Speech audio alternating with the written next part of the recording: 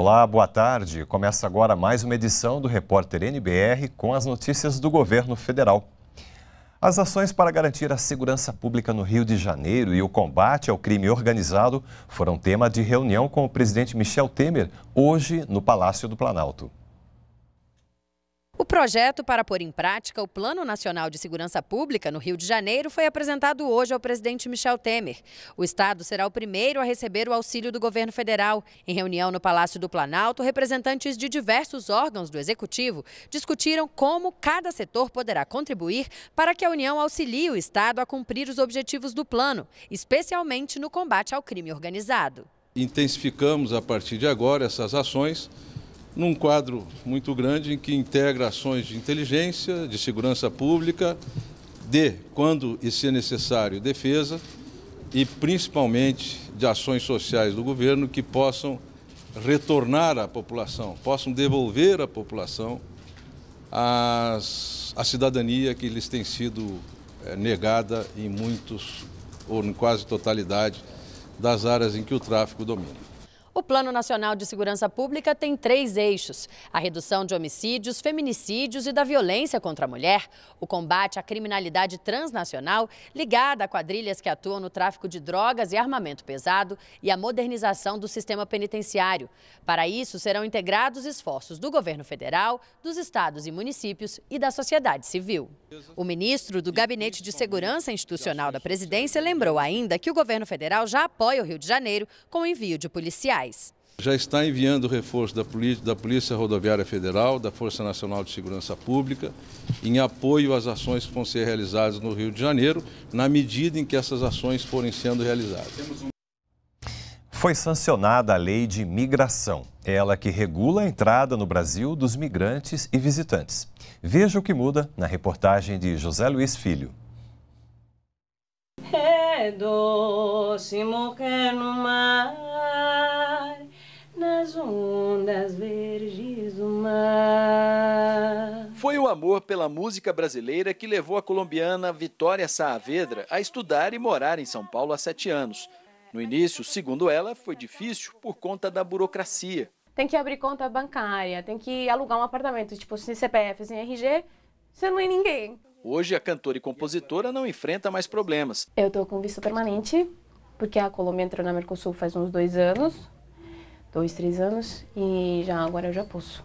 Eu tirei no... janeiro, estou com visto permanente desde janeiro. A partir de novembro, estrangeiros que quiserem viver no Brasil como Vitória terão novas regras a seguir.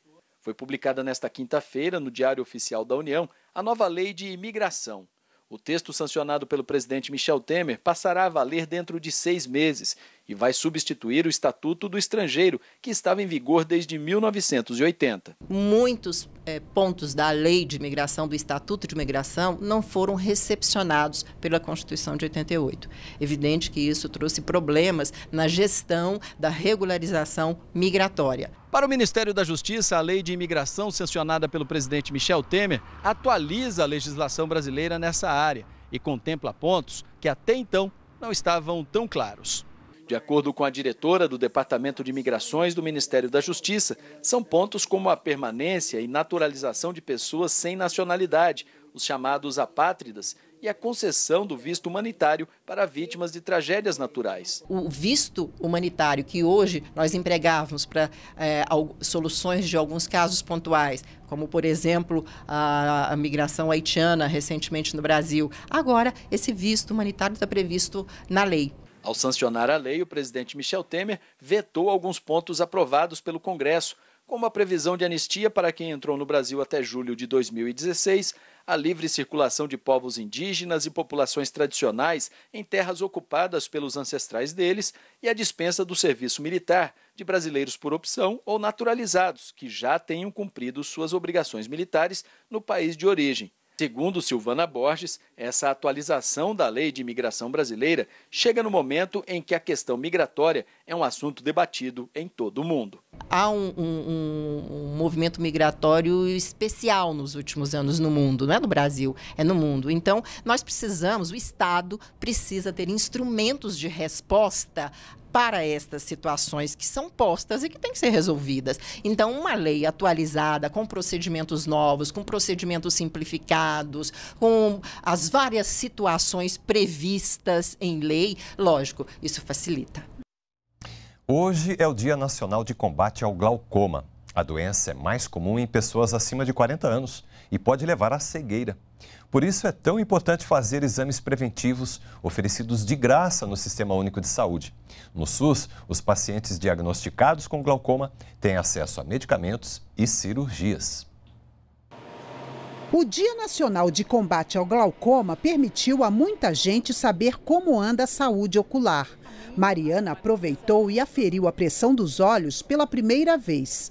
Disse que a preocupação veio com a doença da sogra, que está quase cega. Fiquei com medo, né, de ficar ruim do olho, ficar com a vista, que eu vejo muita gente perdeu a vista, né, por causa desse glaucoma aí, catarata. A pessoa vai perdendo o campo até enxergar através, como se estivesse olhando por um tubinho de, de caneta, por exemplo. Causa uma cegueira irreversível. De acordo com o Conselho Brasileiro de Oftalmologia, a estimativa é de que no Brasil, entre 2 e 3% da população acima de 40 anos possam ter a doença. O Sistema Único de Saúde oferece vários tipos de tratamento ao glaucoma, que vão desde a distribuição de medicamentos a cirurgias. Segundo o Ministério da Saúde, 95% dos tratamentos de glaucoma são feitos em regime ambulatorial com uso de colírio. Em 2016, foram realizados no SUS mais de 220 milhões de procedimentos e aplicados quase 3 milhões de reais. O número é 27% maior do que em 2015, quando foram atendidos cerca de 175 milhões de pacientes em todo o país e aplicados quase 2 milhões de reais. Na maioria dos casos, o glaucoma atinge os dois olhos e a herança genética influencia no aparecimento da doença. Segundo o oftalmologista, o dano no nervo óptico é irreversível, mas há como impedir o avanço da perda da visão. É uma doença que você tem que fazer prevenção. E o pior, ela é silenciosa. Ela te ataca e você não vai percebendo. O campo visual vai diminuindo. Então é fundamental que a pessoa vá ao médico pelo menos uma vez a cada dois anos. 183 atletas olímpicos estão na primeira lista do Bolsa Pódio, divulgada pelo Ministério do Esporte para os Jogos Olímpicos de Tóquio, no ano de 2020. Serão investidos cerca de 23 milhões e 800 mil reais por ano em bolsas que variam de 5 mil a 15 mil reais. O número de contemplados é 306% maior do que a lista anterior, divulgada em agosto de 2013, quando 45 atletas foram selecionados para receber o patrocínio.